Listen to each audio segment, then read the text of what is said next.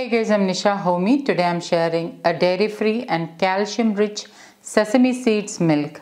Making plant-based milk at home is easy and a good alternative to dairy milk, especially for those with health issues like uh, PCOS, thyroid, or for those who has lactose intolerance or allergy to milk. You need just 2 minutes to make this high calcium plant-based milk at home. So let's get started with the recipe.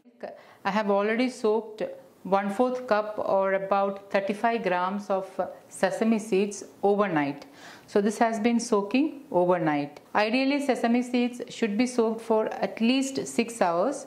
Overnight soaking would be more beneficial to help release the phytic acid content in the seeds. Phytates are nutrient inhibitors which may prevent nutrient absorption. So it's always ideal to soak seeds before using them. And now I'm going to rinse the seeds and keep it on a strainer. Okay, now I have rinsed the seeds and I have kept it on a strainer. Now I'm going to add this into a blender jar. Add the soaked and rinsed sesame seeds into the blender jar. Into it I'm adding in 1 glass or 1 cup of water. Adding in 1 dates. I'm using medjool dates. Medjool dates are soft, hence I prefer to use them. And because it is soft, it is easy to blend. If you're not using soft dates like medjool dates, then you may need to soak the dates and then add. I'm adding in a small piece of cinnamon. The addition of dates or any sweetener of your choice is entirely optional.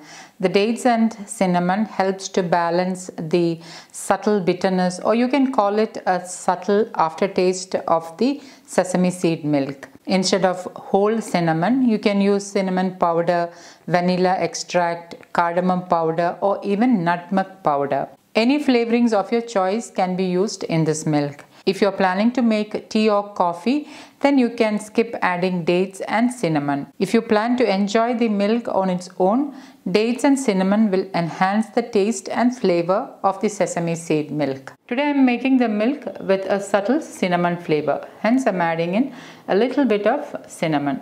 And now I'm going to blend this on high speed until everything is nicely mixed and combined. Sesame seeds are a good source of calcium they help to balance your hormones, hence, uh, they're ideal to include in your diet, especially if you have health issues like thyroid and PCOS. Pour the blended milk through a sieve. Pour the milk into a serving glass. And my super healthy dairy free sesame seed milk is ready to serve.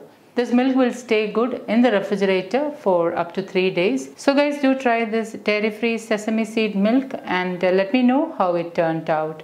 Thank you for watching and until next time take care. Bye bye.